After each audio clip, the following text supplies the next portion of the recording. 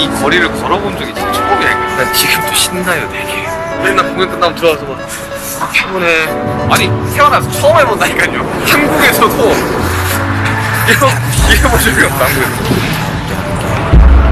진짜 뭐 같은데 난 꿈조차 없다는 게 한심한 거 알아